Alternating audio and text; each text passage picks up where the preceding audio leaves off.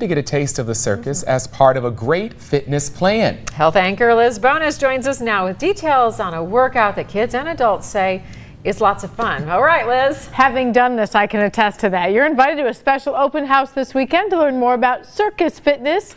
It is this Saturday with the nonprofit group My Nose Turns Red. The group holds fitness classes and camps all year. They're yeah. designed to teach kids tricks like the ones you see here. The goal is to teach balance, coordination, circus skills. This while kids and young adults also build strength, flexibility, and burn calories. There is a workshop from 10 to uh, 2 on Saturday. It's an open house and you're invited to come out to the Evendale Cultural Arts Center and watch demonstrations. You can try out some of this circus equipment. You can ask questions about circus fitness. You can meet other students and directors who can do stuff like this coaches that teach kids these really awesome skills. There's no charge to attend this open house. Their classes are free for that day. And they also have certain leadership programs throughout the year that are free.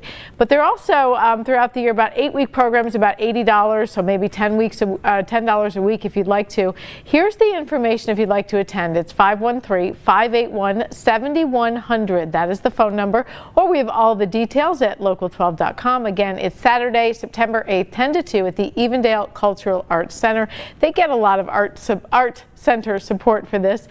It is really a lot harder than it looks. They make it look really, really easy, I have to tell you, having done that. I did the whole wheel once and we kept trying to get it right for the camera. You know how many times I had to do yeah. that? A yeah. lot. but it's great fitness and get kids active all year long. Yeah, I didn't think it even looked easy. So, okay. Thank you, Liz. Fun, though, which is part of the A couple battle. of them looked fun.